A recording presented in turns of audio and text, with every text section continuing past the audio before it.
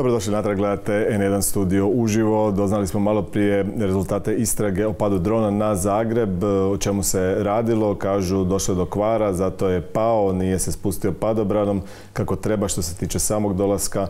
Kažu istražitelji, to se još izviđa i to rade neki drugi, a ne oni. Nakon provedenih vještačenja utvrđeno da se radilo o aviobombi koju je nosio taj dron, a punjenje tog istog, dakle, te bombe je neka smjesa nekonvencionalna eksploziva koja je nestao, pa zbog toga nisu utvrdili kažu tragove e, eksploziva kao što je to uobičajeno, ali u svakom slučaju tvrde e, bomba je bila na dronu i ona jest eksplodirala. U N1 studiju uživo nastavljam razgovor o e, temi Ukrajine posljedica rata agresije u Ukrajini je i dron koji je pao na Zagreb. Zato pozdravljam eurozastupnicu HDZ-a i PPA Željenu Zovko. Dobar dan, dobrodošli gospođa Zovko. Dobar dan i hvala na pozivu i pozdrav vašim gledateljima. Evo mi smo doznali nakon 34 dana rezultate te istrage o dronu e, i sad e, tu je pitanje šta je neko mislio da je ili nije. Imamo neki prijepor predsjednika Republike premijera oko toga, ali vratimo se na početak. Kad je taj dron pao, onda se e, doznalo zapravo da je ta zajednička obrana NATO-a šuplja, odnosno loša i pogotovo u Hrvatskoj je mnoge zabrinula činjenica da to nije imalo nekakvog odjeka u europskim predstavnicama u smislu da neko se zabrinuo i pitao i ljudi su definirali da je palo na predgrađe, ne daj Bože, nekog drugog grada, možda bi se više uznemirili. Kakav ste vi dojam imali u Europskom parlamentu? Pa mi smo u Europskom parlamentu to digli na najvišu razinu, isto kao i naš premijer, premijer Plenković. Znači, izvijestili smo naše kolege i na svim odborima smo podigli znači, i obavijestili da što se je desilo i da se ova situacija mora uzeti sa najvećom ozbiljnošću jer, jer zahtjeva u, biti i preispitivanje kolika je ta zaštita, koliko je informiranje i što se sve može desiti. Hvala Bogu, mi smo imali u ovom, u ovom slučaju jednu veliku sreću da nije palo na, na, na na naselje ili na studentsko naselje što se je moglo desiti i naše kolege su to uzele sa najvećom i ozbiljnošću i bili su zapanjeni da, se ovako, da, da je ovakav nizak stupanj informiranja između zemalja. Jel vi vidite da se nešto promijenilo od tada u smislu te zajedničke obrane ili je li NATO nešto popravio? pa nadam se da jeste, jer u biti ništa ne možemo vidjeti dok se nešto ne desi. A nadam se da se, da se neće desiti neka situacija, jer slučaj Hrvatske je ukazao gdje su mogući propusti i što se sve može desiti u slučaju da, nije, da, se, da se taj stupanj suradnje nije popravio. Znači, niko neće ni od njihove strane preuzeti odgovornost za svoje propuste, ali u ovom trenutku i tekako razumiju koje će biti posljedice ukoliko nisu svoju suradnju uspostavili na najvećoj mogućoj razini. Sve to posljedica agresije na Ukrajinu koju je Europski parlament, sve europske institucije odmah osudio i poduzeo niz koraka, mislim tu na ovih pet paketa sankcija. Međutim, sad je već skoro e, sedam dana prošlo od kad ste vi u Europskom parlamentu rezolucijom izglasali da se odmah e, uvede embargo na sve ruske energente, na njihov uvoz. Nije se ništa dogodilo. Hoće se dogoditi što? Pa Europski parlament ima jednu moralnu ulogu i e, glas je, e, glas je građana. To je ono što građani Europske unije bi željeli. Znači mi predstavljamo građane koji su glasovali za nas i kroz e, ova, ovu odluku, kroz ovu rezoluciju smo iskazali ono što je većinsko stanovništvo, njihova volja, bar onih koji su za nas glasovali bi htjeli međutim, realnost je drugčija. Sve ono što će se dalje nastaviti ćemo vidjeti preko vijeća. Vijeće je zadnje koje odlučuje, ali tu su opet i oni koji su najodgovorniji i za, i za gospodarstva, i za politike, i za sve ono što je potrebno da, da bi se i ta gospodarstva očuvala i onda ćemo vidjeti na koji način će biti uzeto do, na znanje naša rezolucija koju smo izglasovali. Znači, mi smo na neki način taj glas u pustini koji uvijek ide kao prethodnica. Što, bismo, što je glas javnosti, znači Evropske unije, bar u ovom trenutku kako razmišlja i kako promišlja da bi se zaustavio rat u Ukrajini, ali sve ključne odluke će biti na vijeću. Koliko treba da taj glas iz pustinje dođe do ušiju ovih koji, koji odlučuju tamo. Mislim, pitam to i zbog ovoga što ovih pet paketa sankcija zapravo isto nije mnogo, mnoge od tih sankcija očekivao nitko računajući na nejedinstvo Europske unije, različite interese i tako dalje. Je li moguće onda da se, da se ovo dogodi e, isto? Sve moguće, znači sve su ovo upozorenja. Rusi nikada, Putin nikada nije ni očekivao da će Evropska unija biti toliko jedinstvena do ovog trenutka, niti da će biti pet e, paketa sankcija, niti da će i predsjednica komisije Ursula von der Leyen ići u Kijev i naša predsjednica parlamenta Roberta Mecola da će ići tamo na mjesto s događaja. Znači sve ovo ukazuje da mi želimo da mjere koje se poduzimaju da se ova besmislena surova agresija zaustavi da traju i da traju i da na kraju ostave jednu snažnu poruku da se ovakvi potezi više ne smiju u budućnosti ponavljati jer mi želimo da vidimo i kraj ovoga. Znači mi ne želimo da ovaj rat se nastavi i da on da čitav svijet u stvari bude uzet u vrtlog svih ovih zbivanja jer svijet je izuzetno opasno mjesto u ovom trenutku. Vidimo previranja ne samo u Europi nego i van Europe. Tako da sa jedne strane djelujemo kroz kroz oprezne sankcije, kroz uh, jedinstvenu evropsku uh, znači, poziciju prema Rusiji, ali isto tako idemo i prema svim onim zemljama partnerima koje želimo da imamo na svojoj strani jer ne želimo da se ova polarizacija odrazi i na znači i na jedan pozicioniranje na svjetskoj sceni gdje možemo imati dosta i ozbiljne posljedice ukoliko ne budemo djelovali koordinirano.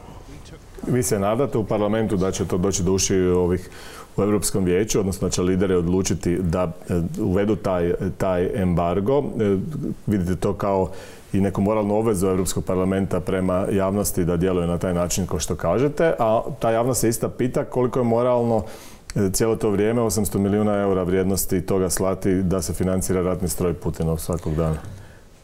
Pa ono što smo mi od sebe rekli je da to nije moralno. A ono što je realnost, znači ono što je realno je koliko je na, na liderima znači zemalja članica da vidimo na koji način će oni uh, i u kom trenutku će zaustaviti to slanje, u kom će trenutku preuzeti odgovornost prema svojim građanima da kažu da će morati podnijeti izuzetno težak period i e, gospodarskog znači stezanja i remena i svega onoga što će i Njemačka znači prvenstveno neke zemlje članice koje su i tekako ovisne o, i o, o, plinu i o, znači i o nafti koje će morati preduzeti i prema svom gospodarstvu i prema svom svakodnevnom življenju da bi, da bi se na neki način se zaustavila ta ratna mašinerija. Ja to ponavljam stalno. Odgovornost koju koja će biti posljednja u ovom lancu znači zaustavljanja rata je na liderima zemalja članica koje su i najovisnije o ovim energentima. Mhm jedinstvo koje spominjete, do sad neviđeno u Europskoj već malo nagriženo bilo i prije izbora u Mađarskoj od strane mađarskog premijera. On je dopustio prijevoz oružanja preko e, Mađarske, a poslije izbora je imao taj govor u kojem je rekao da je praktički pobjedio i cijelu Europsku uniju. On sad kaže čeka da vidi što će biti u Francuskoj na izborima, nadajući se da bi on je mogla Marine Le Pen pobijediti, e, a nju mnogi vide kao Putinovog ovdje izaslanika, doduše sada malo umivenog e, i e, ona više ne govori tako, tako lijepo o njemu kao što je prije. Zvali su je, kažu mi, i Madame Putin zapravo u jednom trenutku. Što bi značila pobjeda Le Pen za Europsku uniju, za Europu? A to bi bio izuzetno veliki potres za Evropsku uniju. Znači, pobjeda Marine Le Pen bi bio izuzetno veliki udarac za jedinstvenu ideju Evropske unije. Mi znamo sa kojih pozicija Marine Le Pen dolazi i u kom smjeru ona želi da vodi e, Republiku Francusku. Znači, sa samu ideju Francusku e, je to, e, bit će izuzetno težak period i za jedinstvo Evropske unije. Ja čvrsto vjerujem da se to neće desiti, e, premda u ovom trenutku sve je moguće, znači sve su opcije tu e, na stolu, ali imam povjerenja da će ipak e, predvladati Francuska ta razum, znači da će se oni voditi jednom jednom opcijom koja neće biti opcija apsolutne apsolutne, znači jedna opcija koja će biti izuzetno loša za sve nas, a to je pobjeda Marine Le Pen. Mhm. Još ima kriznih žarišta u Europi. Jedna od njih je i Bosna i Hercegovina, tu je i Srbija. Sad nakon izbora u Srbiji Mnogi kažu treba stisnuti više Vučića da ono o čem smo pričali toliko puta, to sjedenje na dva stolca završi napokon i da se jasno odredi u svakom smislu da ili prihvati sankcije Rusiji ili da mu se otkaže ovo s pregovorima. Vučiću je ovo presudni trenutak. Nakon ovoga više nema nikakvog biranja. Znači, izbori su završeni. U biranju svoje koalicije i onoga s kim će vladati, on će i pokazati kojim smjerom će nastaviti Srbija i u, kom smjeru će ići Zapadni Balkan u krajnjem slučaju, jer mi znamo sve ono što se dešava iza kulisa i u Srbiji utiče i na samu mir i stabilnost i na Zapadnom Balkanu.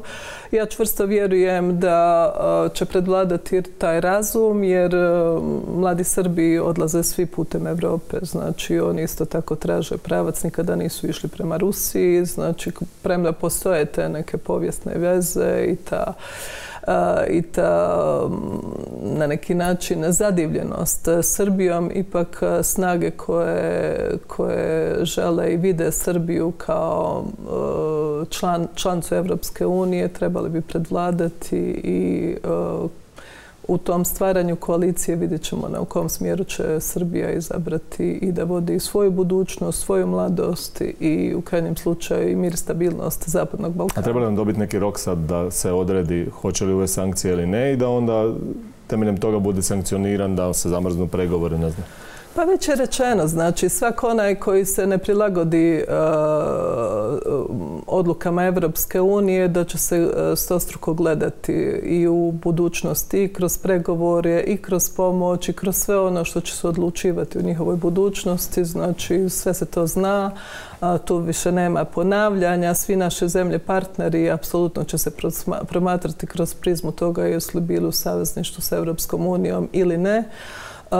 Mi imamo i Tursku koja nije se priklonila sankcijama, imamo uh, zemlje uh, znači, koje su u istočnom partnerstvu koje apsolutno još nisu izabrale da se prilagode sankcijama, tako da sve te zemlje promatramo na isti način i to će se u budućnosti gledati jer u ovom trenutku uh, onaj koji je uz Evropsku uniju će apsolutno biti smatram prijateljem, onaj koji važe gledat će se sa stostrukim podozrenjem u budućnosti. A što je s Bosnom u tom kontekstu i nakon što je ona došla na radar ili e, ušla u strateški kompas, e, pitanje BiH, rekli ste da očekujete da se tu isto na neki način sada pritisak pojača, da se dovrše e, ti pregovori ili da budu uspješni, da krenu krenu izbori onda s novim, s novim pravilima. E, jer se to događa, osim slanja onih vojnika dodatnih tamo koji brinu za sigurnost nakon agresije, je li dio te priče u pojačanom pritisku i ovo što su uvedene sankcije Miloradu Dodiku, što je aktivirao neke ovlasti e, e, visoki predstavnik? Mi u Bosni i Hercegovini imamo jednu izuzetno lošu situaciju da je jedna strana koja je bošnjačka strana koristi tragediju svoga naroda za završni udarac hrvatskoj strani u Federaciji Bosne i Hercegovine. Znači, i sa druge strane polarizira čitavu situaciju koristeći ovaj čitavu problematiku sa Rusijom i sa Republikom Srpskom i njenim, njihovim težnjama očiglednim ka separatizmu. Znači, taj unitarizam i separatizam se međusobno hrane. U ovom trenutku ne postoji nikakva volja od bošnjačke strane, od gospodina Izetbegovića, da poštuje e, zaključke Europskog vijeća, niti odluke sve koje su donesene i od Europske i američke administracije, jer jednostavno ne želi da prilagodi izborni zakon svim onim odlukama Ustavnog suda i međunarodnih sudova, tako da je očigledno na dijelu jedna volja da se završni udarac sada Hrvatskoj strani, a da se ova čitava kriza koristi za jedan dalji nastavak u stvari te um, usijanja u Bosni i Hercegovini, što je izuzetno problematično. Nije bez razloga premijer Plenković i insistirao na ugrađivanju pojma konstitutivnosti u strateški kompas, novu doktrinu Evropske, znači Evropske unije za obranu i sigurnost, jer će ovo biti uh, sigurnosno pitanje ukoliko se ne riješi. Mi znamo da se rok za izbore približava. Međunarodna zajednica u Sarajevu apsolutno ništa ne riješi na kraju da, da, se ovo pitanje konačno završi i vidjet ćemo da se ta kriza će produbiti i nastaviti. Apsolutno ne apsolutno ne, ali u ovom trenutku vi sa ovlikim žarištima ne možete fokus stavljati na jednu zemlju koja još uvijek je mirna zemlja. Znači imamo snage eufora koje su tamo porasle za 500 još dodatnih vojnika.